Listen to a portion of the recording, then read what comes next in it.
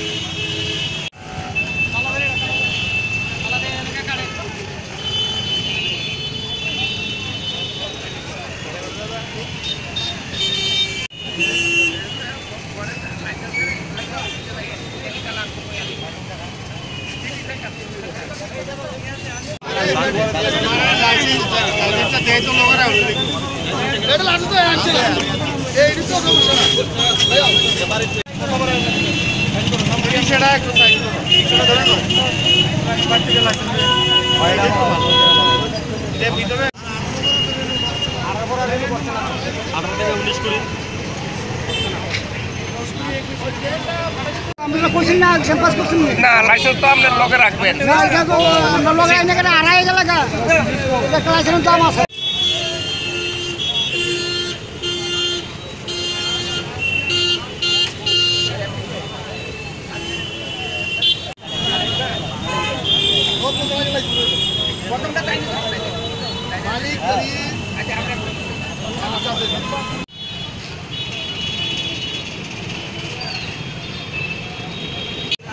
আমি তো কোথাও কোনো মাইক দেয় না কোনো নাকি কোনো ঠিক আছে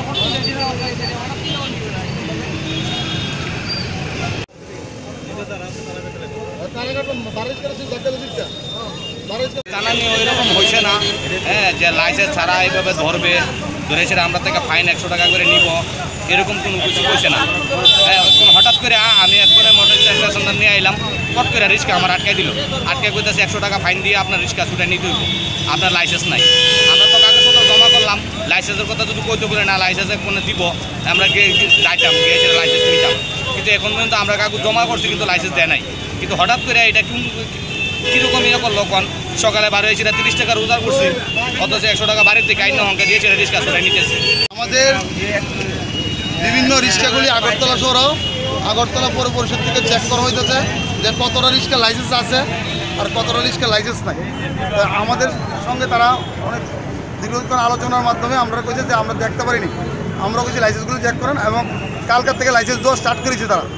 ব্যাটারি রিক্সা লাইসেন্স দেওয়া স্টার্ট করছে এবং দীর্ঘদিন ধরে দেখতেছি আমাদের যে সমস্যাগুলি ভিতরে হচ্ছে, বিভিন্ন মালিকগুলি, বিভিন্ন রিক্সাগুলি লাইসেন্স করছে না। তাদের জন্য আমাদের রিক্সার শ্রমিকরাও দুশো টাকা করে ভাড়া নিচ্ছে মালিকরা।